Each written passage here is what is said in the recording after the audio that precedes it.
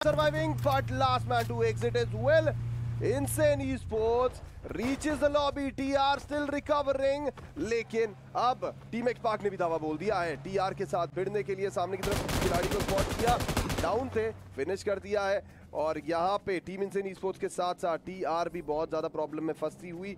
आदित्य आए हैं दो फ्रैक्स टीम के खाते में। हेलन आखिरी खिलाड़ी इंतज़ार कर रहे हैं चार फ्रैक तो है लेकिन और साइड निकालने का मौका ग्रेनेड डाला था और ग्रेनेड का कुछ कमाल ही हैशटैग वन को कंफर्म नहीं कर पाए लेकिन प्लेयर नंबर फोर के एमवीपी के टाइटल को ज़रूर सुनिश्चित करना चाहेंगे। अंदर जाना चाहता है और इसी बीच मिडवेव के जोकर अकेले खिलाड़ी सामने प्लेयर्स रिवाइव करने के लिए आए तो हैं। लेट्स सी किस किस का रिवाइवल हो पाएगा। इसी बीच ऋतवी ने डार्क लॉर्ड को शट डाउन किया बट अफसोस scout is on a roll scout अपने लिए बहुत सारे फ्रैग निकाल रहे हैं और टीम एसएटीएल की बात करें तो दो ही खिलाड़ी